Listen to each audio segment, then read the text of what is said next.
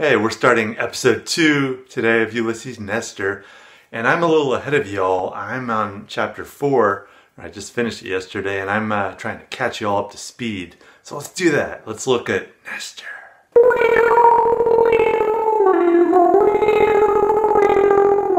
First, Yono, let me say that uh, I've been reading, and I've noticed in these first three chapters, the Telemachia, that Joyce seems to be doing something he's actually uh, with each chapter going deeper and deeper into Stephen's consciousness. And so in the first chapter, maybe Telemachus, he's about 20% in Stephen's head. The rest of it, you know, kind of exterior narration, omniscient narrator or something like that, third person narration.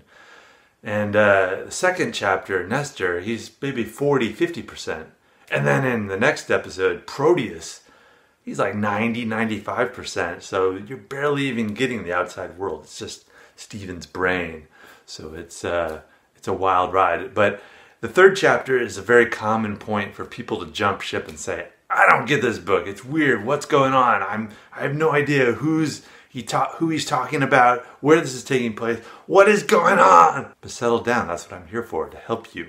This chapter ain't too bad. It's just uh, Joyce throws you in the middle of it all, and he doesn't even say what's going on. He just has this conversation. They're talking about who's talking, what is this, where where are we? I don't know. So let's start there. Let's take a look at our map for this chapter now. All right, we're back in Dublin. You remember that's where we are, and remember before we were down here near this James Joyce Tower and Museum thing. So we're just going to head a little further to the south to what is now known as the Summerfield House, but it was at the time the Clifton School. That is where Joyce worked for a short time. And it is about a mile. This is about a mile. So we could easily have walked it in about maybe 20, 30 minutes or less. And I think that's what he did. And here's a picture of what it looks like nowadays. And here's what it may have looked like back then inside all black and whitey in the old school era. I don't know if this is actually the interior. This is just some picture I found online, but I'm going to imagine this is kind of what it looks like. So that's where we are. And now let's talk about the title. Nestor, what does that mean? What is that name? What is that word? What is that? Nestor in the Odyssey. So Telemachus, young Telemachus, he's like 22. He's like, the war's been over. The Trojan war's been over for 10 years. Where's my father Odysseus? I know, I'll go ask this guy, Nestor. He was in the war. He's old and wise. I can ask him and find out where Odysseus is, my father. So he travels to see this guy, Nestor, and Nestor's like this has he's really a bit long-winded. He gives these long stories, but ultimately what it comes to is he says, I don't know where Odysseus is. You know, like we left and then I don't know, he's out there somewhere. So good luck, kid. But he also seems to spur him on and saying like, um, "Don't put up with these suitors, kid." It's been a while since I read the Odyssey, so that might not be the exact words that he used, but something like that. Anyways, he leaves, kind of frustrated, but kind of also uh, gets some advice and some uh, spirit from the guy that, who's giving him his wisdom. So in this chapter, we're going to see something like that, but as always, Joyce is going to play with it and twist it around a little. So Stephen is at work he left uh, the tower, Martello Tower. That tap, the can't talk. That chapter takes place around eight o'clock in the morning, and then this chapter is about ten o'clock. And these times, they don't say that in the chapter, but you kind of can pick it up. There's clues, and also Joyce in his schemas that I talked about before, he actually does say the approximate time. So this is about ten o'clock in the morning. Stephen has walked about a mile to go to work.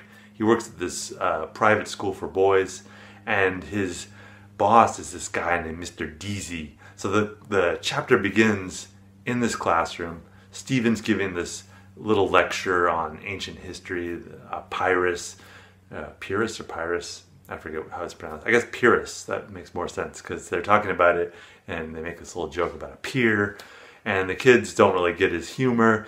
They, they uh, you kind of get the impression that they're not really um, too respectful of him and don't see him as a, a dangerous authority figure as opposed to some other uh, examples uh, in the way they treat Mr. Deasy and just in general, a lot of times in the book you'll see uh, the interactions between adults and children are quite different. Sometimes they'll be very respectful. They'll be like, "Yes, sir," or "No, ma'am." Other times they're just like, as between a, in a portrait of the artist, the way that Stephen and his family interacted was much less respectful and more chaotic. Anyways, back to this school situation.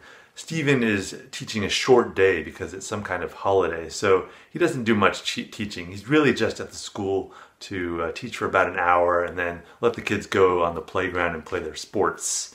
But he has to help one student who is not very good at math. So Mr. Deasy, his boss, has sent this kid to Stephen to work on his math a little. He helps him with the problems. Stephen sees in the kid himself when he was young. He sees him struggling. It's a little uh, way of flashing back to a portrait of the artist as a young man if you haven't read that book.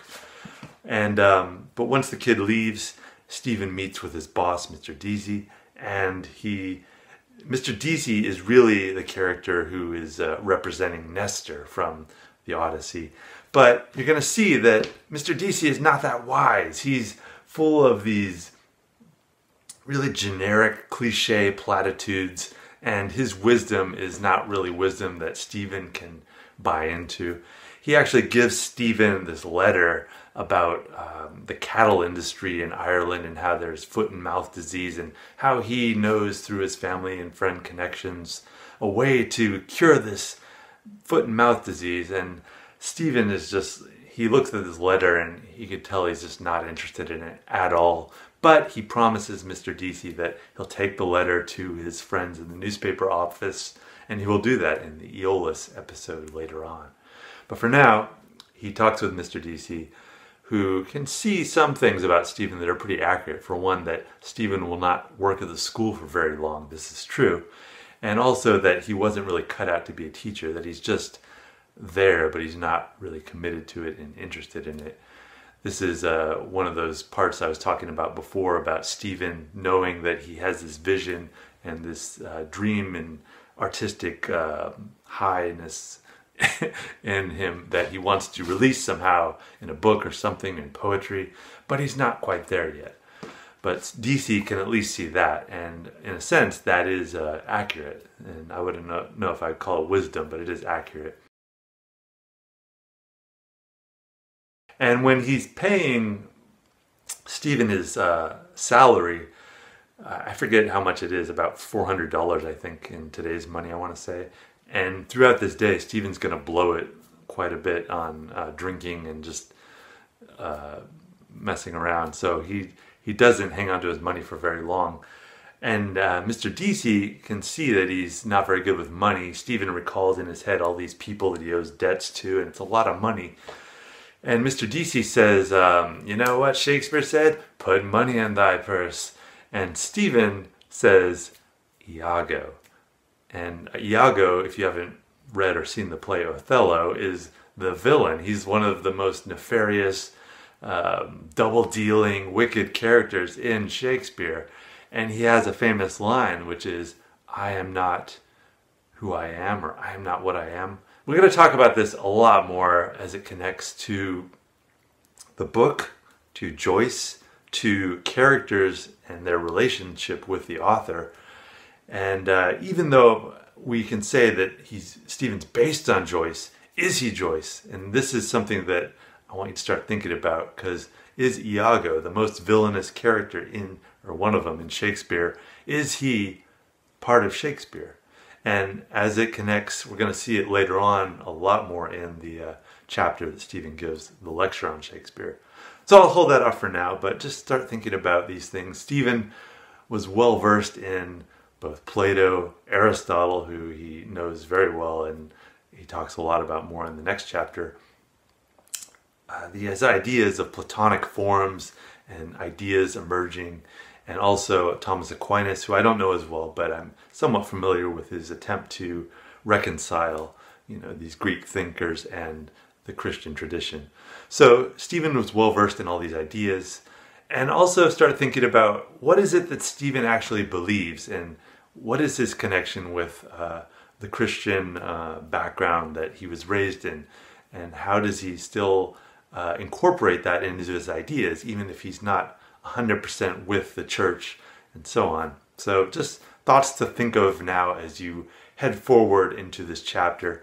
Um, so after Mr. Deasy uh, gives them this long spiel and advice and so on, as Stephen starts to leave and head off into the world and to meet uh, his friends at the library and so on, Mr. Deasy calls him back and he says, you because he's been talking about the threat to Ireland from the Jews, and he says, Do you know why Ireland has never persecuted the Jews? And his answer is, Because she never let them in. Ha ha ha. So, um, this is another example similar to Haynes in the first chapter of this anti Semitism. A lot of writers like to point out, though, that uh, there were in fact Jews in Ireland, and obviously that is the case, as we'll see in the next chapter with uh, Leopold Bloom. Although Bloom's identity is also interesting in that we can ask, is he a Jew? And he even asks that later, later in the book. But hold off on that for now. The important thing to understand is that there were about, I've heard the number 4,000 or so Jews in Ireland in the 1904 when this book takes place. Keep that in mind. But just view that uh, these people like Haynes, like Mr. Deasy, have these very uh, strict uh, stereotypes about what they are and how they behave and how they should be treated. That's where this the basic shell of this chapter is. I'm going to talk a little more in the next video about some of the notes I have taken, but otherwise uh, I think you have a, a general idea of what happens in this chapter and we're ready to go ahead. So let's go!